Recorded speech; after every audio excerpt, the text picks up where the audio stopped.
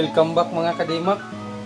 Ah, ngayon mga kadimak, mag sisit up tayo ng Aporda Box ah, digital TV receiver mga kadimak.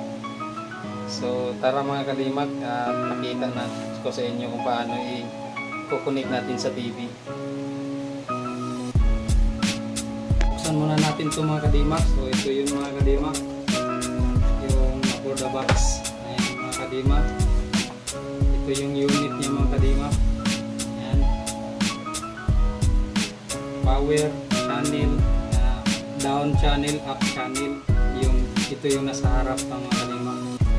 So, dito yung nasa likod mga kadimak. Ito yung antenna, in, saka out, coaxial, tapos HDMI. Ah, ito yung audio right, audio left, saka yung video. Dito na rin yung cord niya mga kadimak. Ayan. Ito. Yung RCA cord.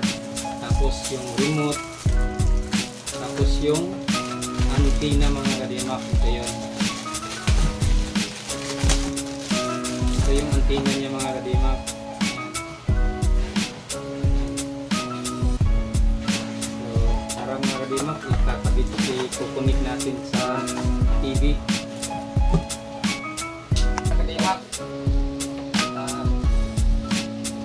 Talikod natin yung TV, kakabit natin yung wire. So, yan. So, yun mga kadimak, ah, dito na tayo sa TV. Ito, RC, yung audio left and audio right, saka video.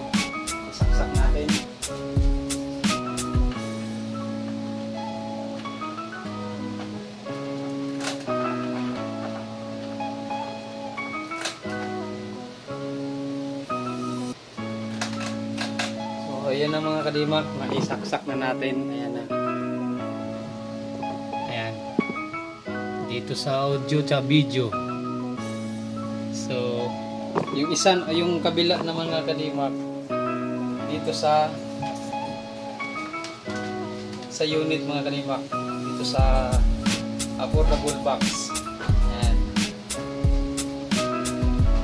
So, dilaw mga kadimak dito sa may video.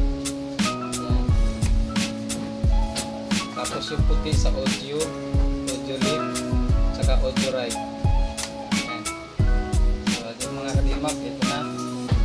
Tapos yung antenna mga kadimak. Ito yung dulo ng antenna. Ito yung dulo ng antenna. Dito natin ilagay sa unit unit ng Aporda Box, Aporda Box, Aporda Box mga kadimak. Dito mga kadimak oh. Ito. In. So ayan na mga kadimak. Ah, nauna natin, naikabit na natin siya mga kadimak. Ayan. Ayan oh.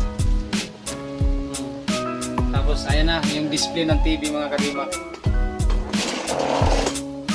Ayan ang display ng TV. Ah, kukunin natin yung remote at isisit natin. Isisit natin siya sa printer. So ayan mga kadimak. Nagpra-progress na siya mga kadimak. Yung scan tawagin mga kadimak. So hintayin na lang natin ito mga kadimak pag na-full scan na siya mga kadimak. Mga kadimak na. So ayan mga kadimak, 95%. Ayan na. So volume ng TV na lang mga kadimak ang anuhin natin. Volume ng TV na lang. Ayan, nag-done na siya mga kadimak. Ayan. Ayan.